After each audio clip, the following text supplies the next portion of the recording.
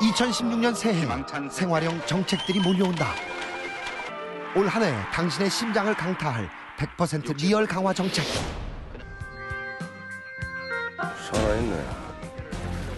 기회는 지금뿐 알아야 산다. 추억의 영상으로 보는 생활 밀착 생생 정책. 전 세계가 기다려온 정부의 핵심 정책. 슬슬 시작할까? 올해 가장 주목해야 할 정책은 청년 고용 디딤돌 프로그램.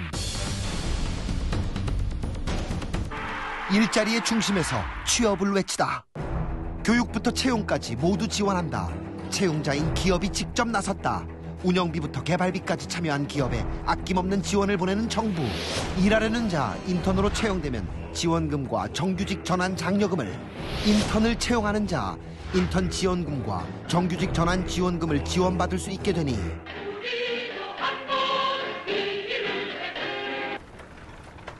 어디 하늘에서 돈다발 같은 거안 떨어지나? 떨어진다. 일자리와 함께 2016년 주목해야 할 두 번째 정책 청년 희망 펀드. 대통령의 첫 기부를 시작으로 점점 더 풍성해지고 있는 청년 희망 펀드. 도전은 여기서 멈추지 않는다. 2016 주목해야 할 정책 세 번째 청년 희망 아카데미. 위한 처방은 청년 희망 펀드에 기부된 재원을 활용한 청년 희망 아카데미. 각양각색 취향 저격 최고의 멘토단이 온다. 청년들의 취향을 저격할 천여 명의 재능 기부 멘토단이 스토리텔링, 작곡, 영상과 같은 융합 콘텐츠부터 디자인, 숙련 기술인처럼 다양한 전문 분야까지 전문적인 멘토링으로 현실적인 조언을 아끼지 않는다고 하니 내가 너 바로 나가게 해줄 수 있다.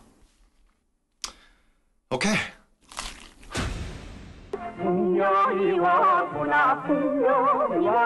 일자리 풍년이 오는 그날까지 마냥 기다릴 순 없다.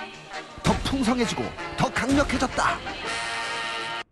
자식을 생각하는 부모의 본심이야 어찌 다르겠습니까?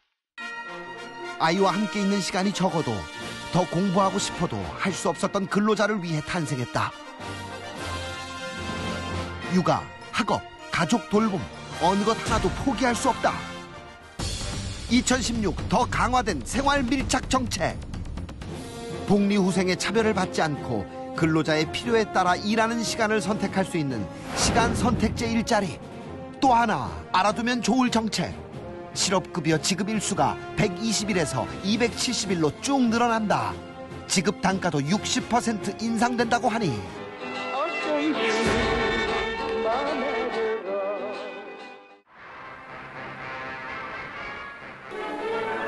도라지의 음료 다수의 적을 고스란히 다 넘어뜨리고 이번에는 야구 배